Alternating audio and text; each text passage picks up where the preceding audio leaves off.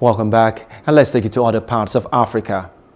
Pope Francis began a visit to South Sudan on Friday with an impassioned plea to its fractious leaders to turn their backs on the violence, ethnic hatred and corruption that have stopped the world's youngest country from achieving peace and prosperity.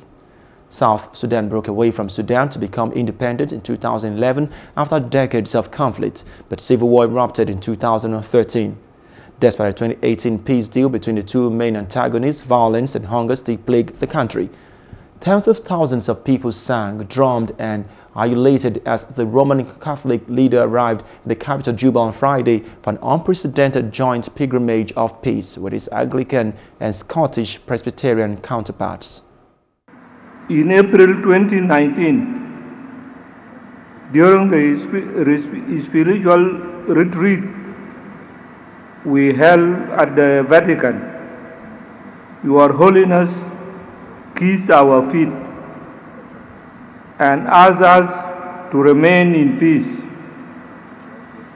You also told us from your heart to move forward. That, that rare gesture of humility did not go in vain when you kiss our feet. My brother Dr. Riek Machar was outside the country.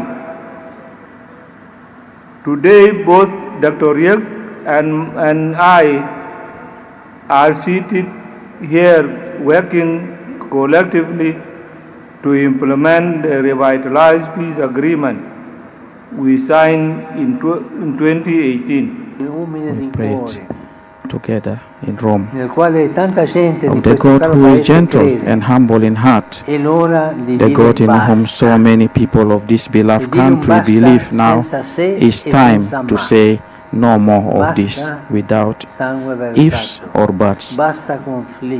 No more bloodshed, no more conflicts, no more violence, mutual recrimination. About who is responsible for it, no more leaving your people at rest for peace. No more destruction. It is time to build. lift the time of war behind and let a time of peace dawn.